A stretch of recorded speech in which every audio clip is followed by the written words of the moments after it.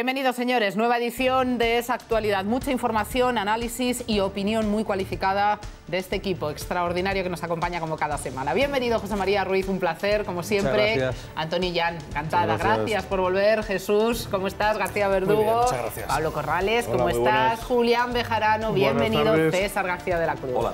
Bienvenidos, señores. Sin más dilación, no quiero restar un solo minuto porque son muchos importantes los temas que tenemos que analizar hoy, además de otros asuntos que vamos a tocar. Verán que hoy lucimos todos una insignia que hacemos además con mucho honor, con mucha vocación y con ilusión. Luego les contaremos a qué responde. Nueva eh, iniciativa de Down Toledo, al frente Jesús García Verdugo, así que al final del programa muy atentos porque les daremos cuenta del motivo por el cual eh, nosotros vestimos hoy este pin y cómo ustedes pueden sumarse a esta campaña y colaborar.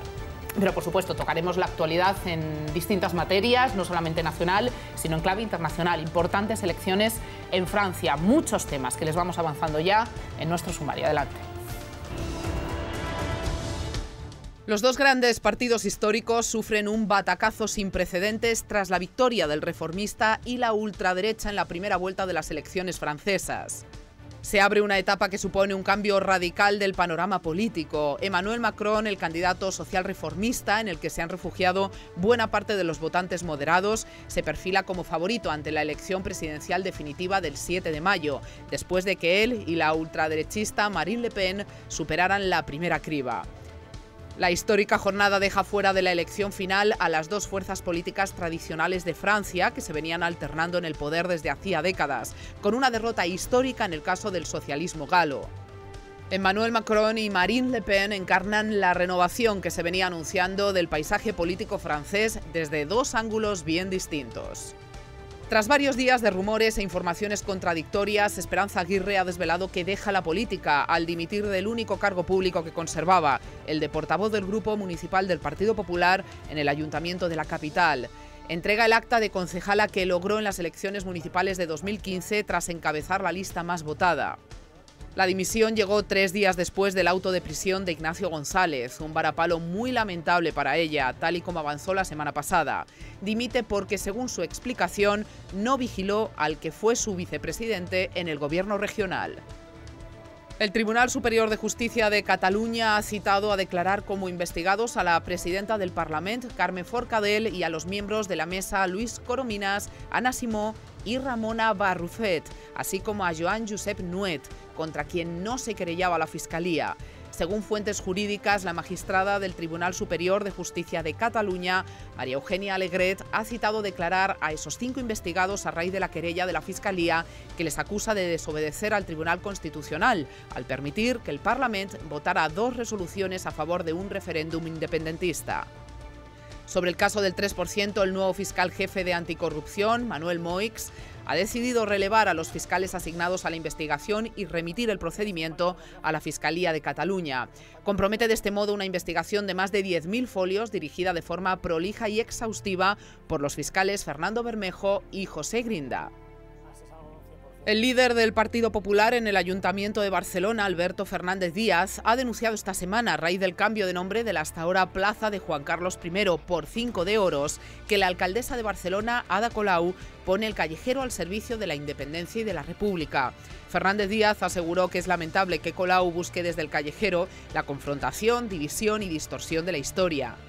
Barcelona recuperó el nombre de la Plaza del 5 de Oros para el espacio situado en la confluencia de la Avenida Diagonal con el Paseo de Gracia, con la fiesta de la Primavera Republicana, organizada para celebrar los valores republicanos de libertad, igualdad y fraternidad. Estos son algunos de los temas que hoy recogemos en esa actualidad.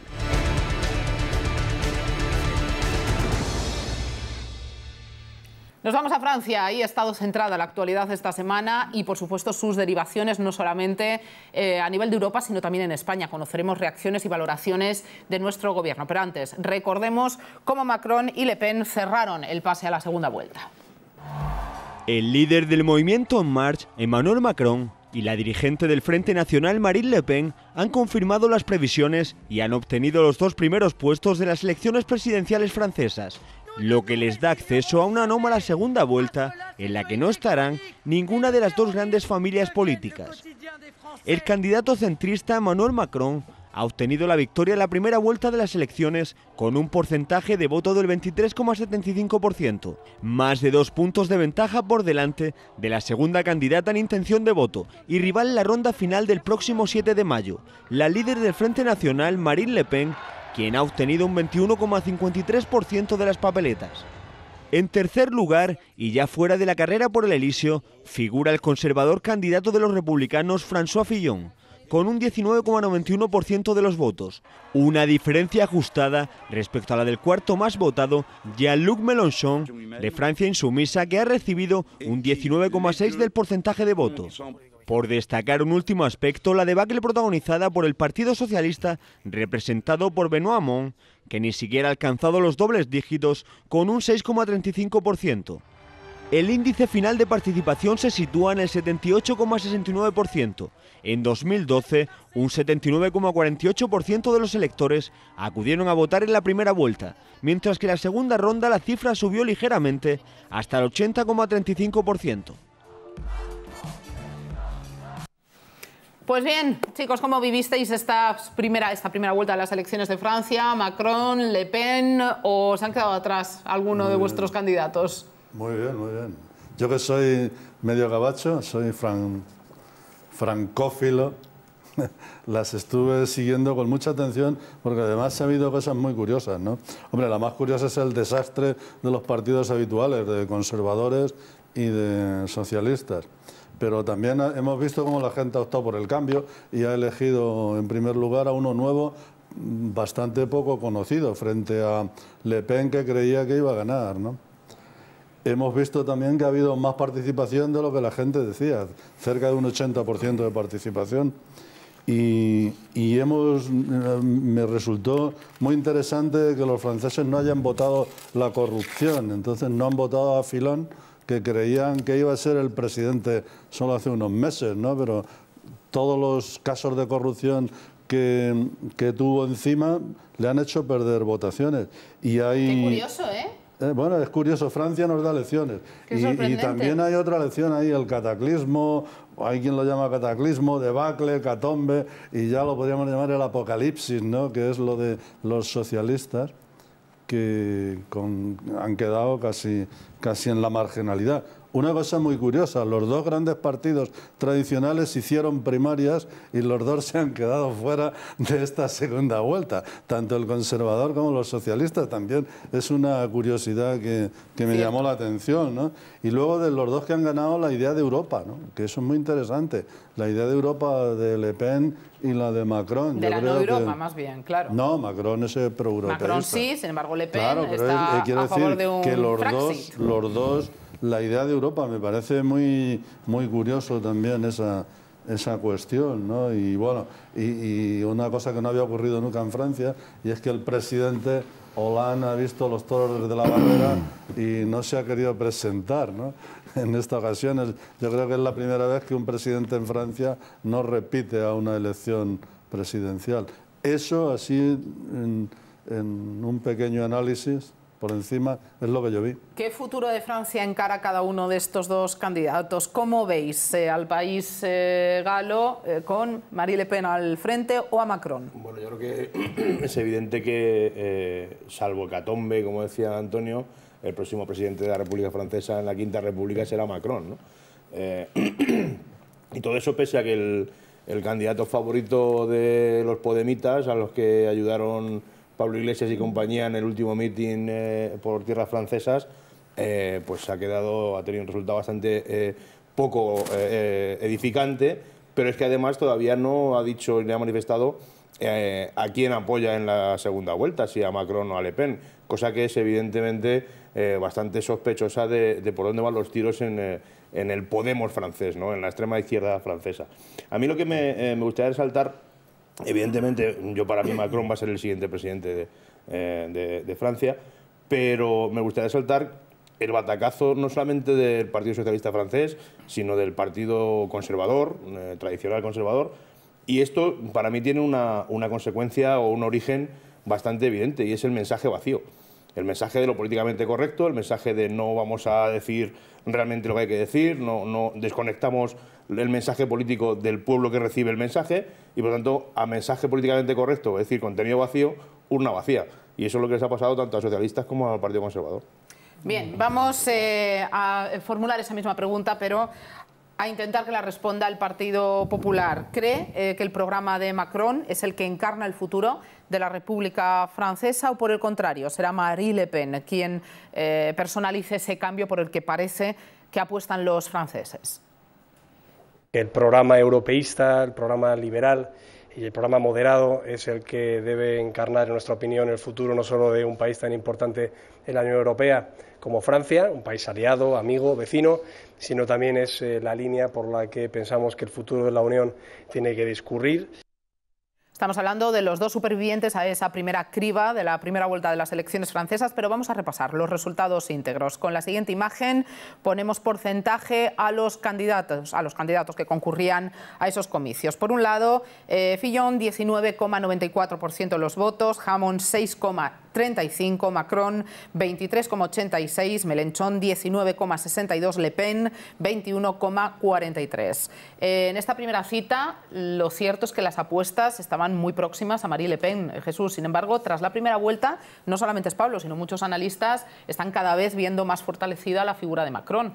Bueno, de todas maneras, el sistema francés de la Quinta República eh, plantea este modelo interesante de la segunda vuelta. Puede ser, y de hecho Macron y, Le Pen han andado en un casi empate técnico. Estamos hablando de, un par de puntos de diferencia, que no es un elemento muy significativo cuando hay cinco actores en, liza. Sin embargo, entre Fillon y Le Pen había menos diferencia todavía que entre Le Pen y Macron. Efectivamente. Es, lo primero que nos demuestra es que ha habido un cambio dentro de, y al hilo de las palabras del portavoz del Partido Popular, se ha ido desdibujando mucho, de una manera líquida, eh, el eje clásico izquierda-derecha. Aparecen nuevas variables en, el concurso electoral y, lógicamente, la, la población se ha terminado determinando eh, en esa dirección. Eh, nuevas ofertas que rompen con ese eje. Es cierto que la situación de Hollande eh, han sido unos años de mucho cuestionamiento, de desdibujamiento de su figura de liderazgo, de muchos problemas internos en el Partido Socialista francés. De hecho, la atomización, Valls, el caso de Hamon, el caso de, del propio Macron, como diferentes liderazgos dentro de esa gran familia, cuestionando el, el papel de su propio líder. Y lo que sí vemos es que no se sigue la secuencia habitual. La secuencia habitual hubiera sido que ante una derrota del, Partido Socialista francés hubiera emergido el golismo. Pues no, ha emergido pues una, una formación que no se mueve bien dentro del eje izquierda-derecha. Eh, tiene aspectos sociales y por lo tanto de la familia socialista, aspectos liberales y bueno, lo único que sí eh, tiene pues, su deseo de renovar eh, la Unión Europea. Es europeísta y en eso rompe con, con buena parte de los otros candidatos en Liz. En cuanto a otras representaciones políticas, lo que está claro, José María, es que tanto socialistas como conservadores se van a postular mucho más eh, al lado de Macron que Le Pen. Eh, como factor común, a lo mejor a otras elecciones y a la tendencia europea, es esa victoria del cambio que se denomina de la renovación de los partidos emergentes frente a los tradicionales. Pero en este sentido, en Francia no sabemos muy bien hacia qué signo. Claro, en Francia ya ocurrió esto con Le Pen padre que pasó a segunda vuelta, pero claro, inmediatamente todos los votantes, todos los partidos políticos se alinean en contra de Le Pen y Le Pen, aunque mejoró los votos que había obtenido en la primera vuelta, pues no, no pudo ni, ni, aproximarse a los resultados que finalmente Chirac sacó. Pero eh, las cosas van variando y conforme va pasando el tiempo hay toda una eh, población que se siente desamparada, que se siente olvidada, que se siente postergada eh, frente a los, al establishment y esa población poco a poco va apoyando de una forma más sólida, más continuada, em, partidos políticos que vienen a cuestionar lo que es ahora mismo la, eh, la, política general en Europa, como es el FPO en Austria, como es Bilder en Holanda, como es Le Pen en Francia. Le Pen además fue el primero en conseguir em, eh, romper las barreras en, en número de votantes, aunque el sistema que tiene el electoral francés hace que tenga muy pocos diputados. No, la representación parlamentaria no es acorde con el número de votantes que vienen a, obtener. Ahora mismo pues, sería el segundo partido de, Francia y, sin embargo, tiene dos diputados nacionales solamente. Bien, ¿qué lección podemos sacar del el ascenso de Le Pen? Lo primero, el hastío de la población europea. El hastío por dos motivos. En primer lugar, el, económico. Es que Europa está estancada desde un punto de vista económico y en beneficio de terceras potencias, como puede ser China, como puede ser India, como puede ser eh, eh, Estados Unidos de América, como puede ser Rusia, que también está emergiendo, eso es lo primero. Y lo segundo, el, la, una falta de liderazgo total. Que, que, ¿Dónde van nuestros países? ¿Dónde, dónde se nos conduce? Apuntamos y perdón, José María, eh, por, por, concisión, porque sí, estamos sí. agotando el tiempo y me has dado el relevo perfecto para eh, analizar algo que nos preocupa a, todo, a todos, ese aspecto económico, hacia dónde va la tendencia conforme a los resultados de las, de las elecciones de Francia. Vamos a escuchar a algunos expertos que tratan de analizar el futuro de Europa, no solamente de la nación francesa, eh, a raíz de esta primera vuelta y de las previsiones como resultado de las elecciones. El candidato centrista Emmanuel Macron ha obtenido la victoria en la primera vuelta de las presidenciales en Francia, seguido de la líder del Frente Nacional, Marine Le Pen. Ahora toca esperar la segunda vuelta para ver a quién elegirán los franceses como su presidente. Mientras tanto, las bolsas europeas amanecían con grandes subidas y el euro marcaba su máximo histórico desde noviembre. Los expertos financieros han celebrado el resultado. Es uno de los mejores escenarios para el mercado, sobre todo teniendo en cuenta que en esa segunda ronda las encuestas, que no se han equivocado nada en esta primera, hay que decirlo, están hablando más o menos de que uh, Macron llevaría una ventaja en la segunda ronda entre 20 y 25 puntos porcentuales sobre Le Pen. Además, han asegurado que los mercados han sentido alivio al comprobar cómo las encuestas dan como vencedora a Macron en la segunda vuelta. Es una sensación de alivio eh, porque había una parte del mercado, evidentemente, con la fuerte subida que había tenido Melenchón en las encuestas en las últimas semanas pues tenían miedo de que realmente pudiésemos encontrarnos con una segunda ronda con dos candidatos antieuropeístas. Los expertos en relaciones internacionales también han vaticinado la victoria de Macron, pero han recordado que el terrorismo marcará la diferencia. Un atentado terrorista de algún modo podría eh, favorecer las expectativas de, de voto de, de la señora Le Pen pero si no ocurre nada extraño, yo creo que Macron es el, el candidato claro a, a, ganar las presidenciales francesas. Además, han explicado que una victoria del líder de En Marche beneficiará a los países comunitarios. Macron eh, apoya una Unión Europea mucho más integrada, sobre todo a nivel económico, quiere mejorar la gobernanza de ese Eurogrupo, quiere avanzar en los temas de defensa, quiere reforzar la zona Schengen, es decir, esas fronteras exteriores de la Unión Europea. Digamos que sería el candidato de las instituciones y también es el candidato de los mercados. Que ganara Marine Le Pen sería un misil en la línea de flotación de la, de la Unión Europea, le haría daño a la Unión Europea. Y han recordado que si Le Pen quisiera salir de la Unión Europea tendría que celebrar el denominado Frexit, que necesitaría el apoyo de la Asamblea y de todos los franceses. Concluye José María y sí. nos pedían ya la palabra, eh, Julián con, y César. Con hilo a lo que estamos eh, escuchando, mm, de una forma muy concisa. Le Pen dijo, eh, Marie Le Pen dijo, en Francia la, la, Francia la defienden los pobres y la traicionan los ricos.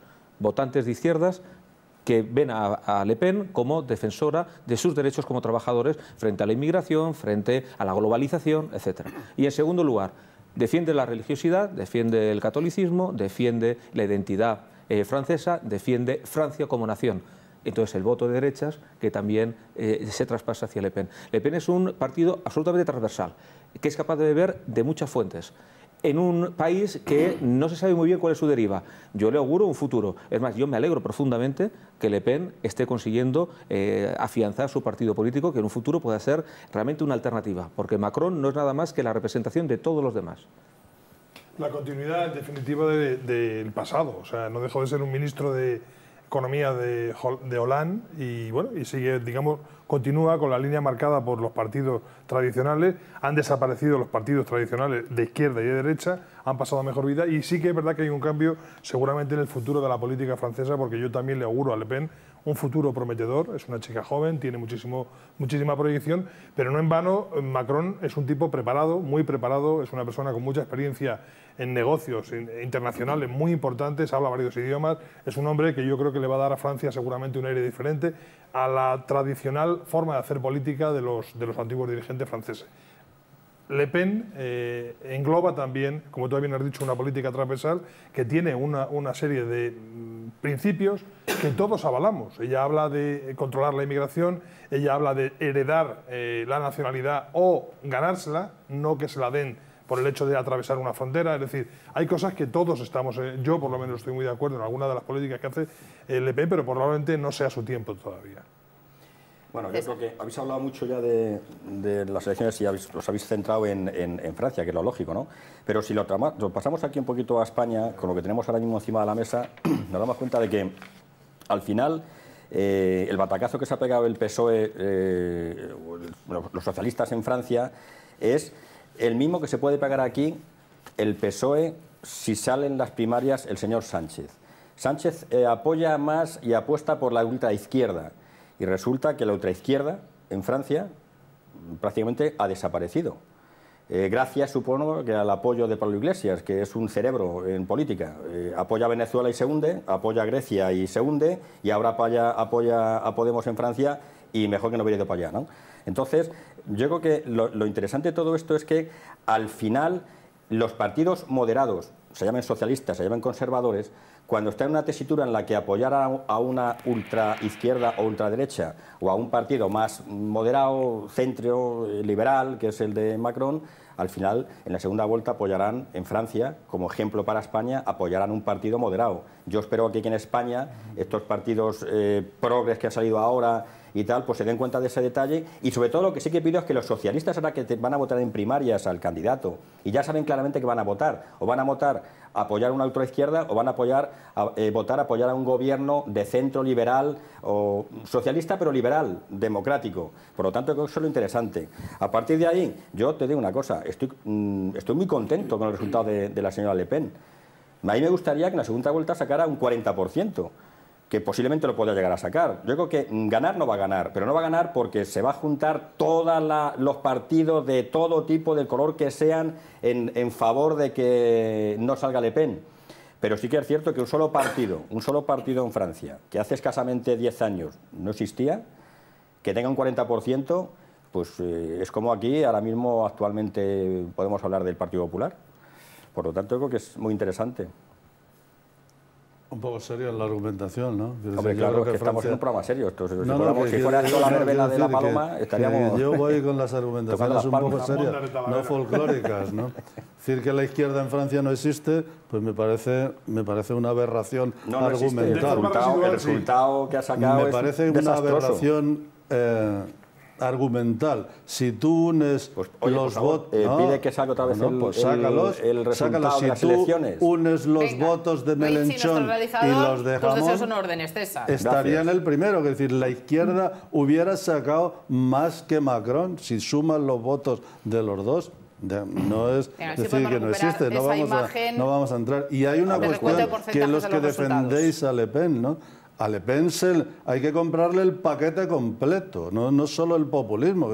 ahí hay, dentro está lo económico, pero está lo xenófobo y está toda una serie de cuestiones más. Yo creo que os estáis centrando, perdonadme, menos César, todos os habéis centrado en el análisis, y además creo que es correcto, eh, de los candidatos en materia política nacional en Francia. Yo creo que es un poco el mismo caso que Trump en Estados Unidos. A lo mejor compartís muchas de sus medidas dentro de lo que es el país donde se están eh, llevando a cabo las elecciones, pero no valorando tanto la trascendencia que va a tener para el entorno. Y en este caso estamos hablando de la Unión Europea. No olvidéis que estamos eh, ante una candidata, en el caso de Marie Le Pen, que está en contra de la pertenencia de Francia a la Unión Europea y que estaríamos ante posiblemente la segunda salida de uno de los miembros de la eurozona, con las consecuencias que esto ya puede tener después del Brexit. A ver, mm, tenéis que ser muy breves, porque nos queda un minuto y me pedís la palabra a los dos. Jesús y José María, por favor. O, por lo menos de hacer una llamada de atención de qué modelo de Unión Europea se ha terminado construyendo en los últimos 15 años, en los que sí que es cierto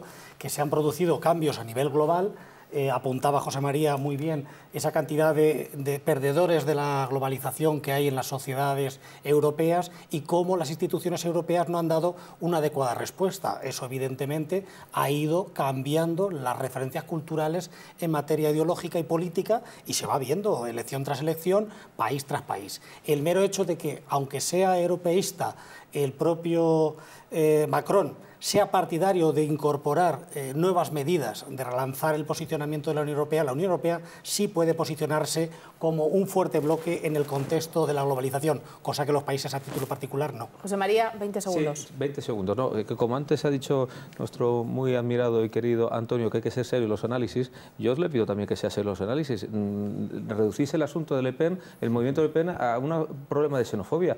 Y lo que pone de relieve Le Pen es que la gente está es que no se piense en ellos cuando han levantado sus propios países y se esté pensando en gente que viene de fuera, que se les subvenciona, que se les da vivienda, que no pagan impuestos y que y que no sostienen el país y sin embargo tienen las prebendas. Eso no es xenofobia, eso es una, una política racional y en segundo lugar un amor por, por, los propios, por la, gente que ha levantado el país. y eso no se puede reducir. Patriotismo. Exacto. Fundamental, que ya, que como ya esa palabra está desapareciendo, pero a la pregunta que hacías tú, yo creo que eh, al final España, el resultado de Francia le viene bien, indistintamente de que gane Macron o gane Le Pen. Igual que le ha venido muy bien el Brexit de, inglés. Ahora mismo España es la, es la única nación de, Europa que crea empleo por encima de la media europea y está posicionándose en Europa como una de las principales potencias de la economía, eh, tanto política como económica, como de seguridad, como de lucha antiterrorismo. O sea, España ahora mismo está en una situación en la que, bueno, eh, que vengan estos resultados, porque eso nos va a venir a nosotros fantástico. De hecho, ahora el presidente Rajoy ha estado de viaje eh, en Iberoamérica y, y, le han dado todo elogios de la forma de la política económica que está aplicando en España. Sí, pero yo creo que por méritos propios y no por las eh, elecciones, resultados o gestiones de otros países. no, no, creo que crezcamos por el Brexit. No, desde luego. Bueno, eh, en política internacional sí, ¿eh?